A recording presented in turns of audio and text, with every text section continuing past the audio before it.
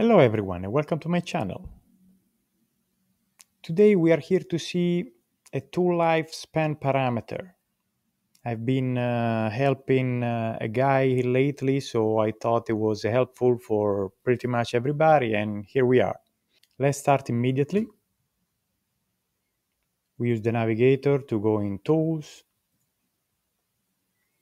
And here, I mean, you can modify an existing tool or create a new one. It doesn't matter. The only thing you, uh, you will have to do in order to specify the lifespan is to go under the wear tab and here we can find the parameter. So what do we need to specify here? Millimeters that this tool will be able to travel before considering it dull or inches in case you are using the software in inches. Let's um, just, uh, as an example, create 500,000.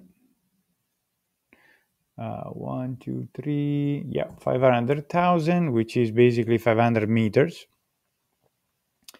We can save. At this point, since uh, this moment on, the software will start counting every time we use the tool on the machine. And let me go back so we can show here. It will start the counter. Of course, you can't change the counter. That is uh, basically autonomous and, like I said, is managed by the, the PLC.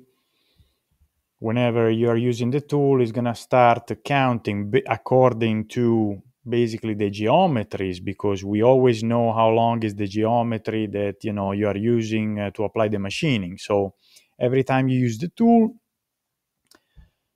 of course not in simulation you physically have to run the machine in order for the counter to work properly.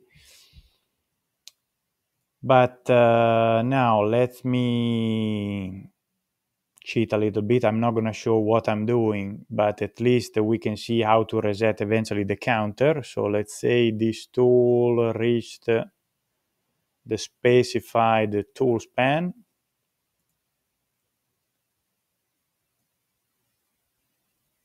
Bear with me.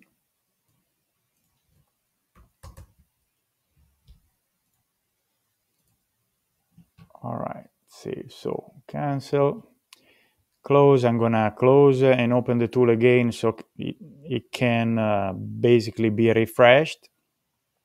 We go again and here it is. So we reached magically the tool uh, lifespan. At this point, how do I reset the counter? We can uh, use uh, this uh, function uh, here on the top left corner tool sharpening. And here you need to specify, of course, uh, as a positive uh, value, the corrector for the diameter and the length. What the software uh, is going to do when you specify those, basically is going to update automatically the diameter and the length according to the value you are using in these two fields. So let's say that the material removed from the diameter of the tool was 0.2 millimeters. We just specify that.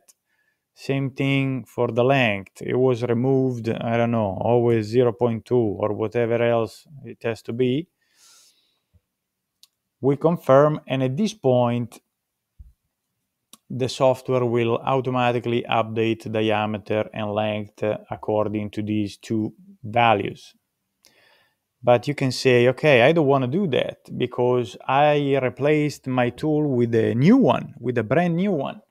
So my diameter is not changing and the length uh, is not going to be only that because it depends how much uh, maybe shorter because I pushed the tool a little bit more in or it can be longer because I pulled it out a little bit, the new one. So in this case, let's say we don't want to change diameter or length, the software, let's go back actually uh, cancel and start over so we can see. We want to leave everything as zero so we confirm and guess what? Nothing happens why? Because the software wants to see a change in order to reset the counter. It's not going to work if you leave everything as zero. So if we don't want to change diameter or length we need to cheat a little bit. So we need to specify something here and then change the field, go down. At this point, the software detected that there was a change. So I, I can just go back, put everything at zero again, and confirm. At this time, as you can see, the counter was reset.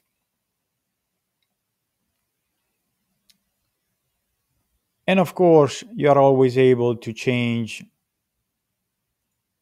diameter and working length from here, from the general data tab. So